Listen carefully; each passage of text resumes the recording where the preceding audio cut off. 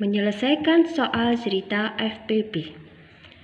Contohnya adalah Paman memiliki 96 jambu, 64 mangga, dan 48 manggis. Buah tersebut akan dibagikan pada tetangganya. Setiap tetangga mendapatkan tiga jenis buah yang sama banyaknya. Tentukan A. Tetangga terbanyak yang mendapatkan buah. B. Banyak buah masing-masing yang diterima tetangga, baik itu jambu, mangga, dan manggis. C. Jumlah buah yang diterima tetangga seluruhnya. Salah satu ciri soal cerita yang menggunakan FPP adalah ada kata sama banyak. Kemudian ada kata terbanyak. Jika ada kata sama banyak dan terbanyak berarti penyelesaiannya menggunakan FPP. Nah, FPP dari apa saja? Nah, di sini paman memiliki 96 jambu.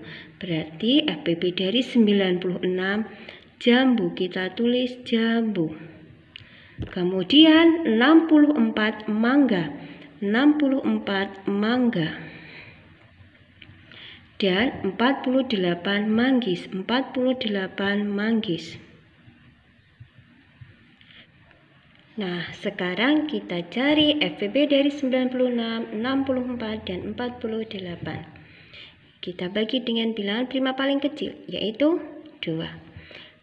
96 dibagi 2 48 64 dibagi 2 32 48 dibagi 2 24 48 32 dan 24 karena ini bilangan genap pasti bisa dibagi dengan 2 48 dibagi 2 hasilnya 24 32 dibagi 2 hasilnya 16. 24 dibagi 2 hasilnya 12. Kita bagi lagi dengan bilangan? Iya, kita bagi dengan 2 lagi. 24 dibagi 2 hasilnya 12. 16 dibagi 2 hasilnya 8. 12 dibagi 2 hasilnya 6. Selanjutnya 12, 8, dan 6 kita bagi lagi dengan Iya, dua lagi. 12 dibagi 2 hasilnya 6. 8 dibagi 2 hasilnya 4. 6 dibagi 2 hasilnya 3. Kita coba bagi lagi.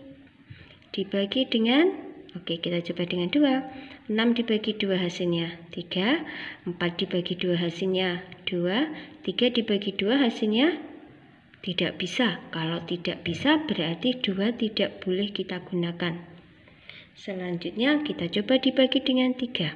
6 dibagi 6 dibagi 3 hasilnya 2. 4 dibagi 3 hasilnya tidak bisa. Kalau tidak bisa berarti 3 juga tidak boleh kita gunakan. FPP hanya dibagi oleh angka yang sama. Ya, kalau sudah tidak bisa berarti selesai. Ini sudah ketemu FPP-nya.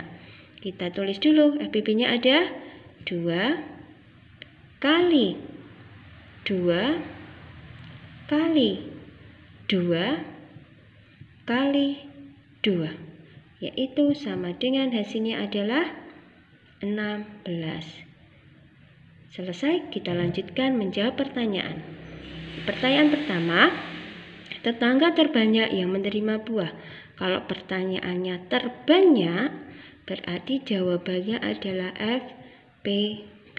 Nah, FPB-nya tadi berapa? 16. Pertanyaannya tetangga berarti 16 tetangga. Selanjutnya, selanjutnya banyak buah yang diterima tetangga jambunya ada berapa, mangga ada berapa, dan manggis ada berapa. Kita lihat jambu. Jambu yang mau dibagikan jumlahnya ada 96. Setelah dibagi-dibagi, hasil akhirnya ada berapa di paling bawah? Ada 6. Berarti jambu yang diterima tetangga ada 6 buah. Mangga semula ada 64. Kemudian hasil pembagiannya yang paling akhir mendapat angka 4. Jadi mangga yang diterima setiap tetangga ada 4 buah. Manggis. Manggis awalnya ada 48. Setelah dibagi-dibagi hasil akhirnya ada 3. Berarti yang diterima tetangga ada 3 buah manggis. Nah, selanjutnya pertanyaan berikutnya, jumlah buah yang diterima tetangga ada berapa? Nah, tadi tetangga menerima jambu ada 6, mangga ada 4, dan manggis ada 3. Berarti kita jumlahkan. Jambu ada 6, ditambah 4, ditambah 3. Sama dengan ada berapa? Ya, ada 13 buah yang diterima tetangga. Demikian penjelasan dari Ustazah, semoga bermanfaat. Semangat belajar di rumah.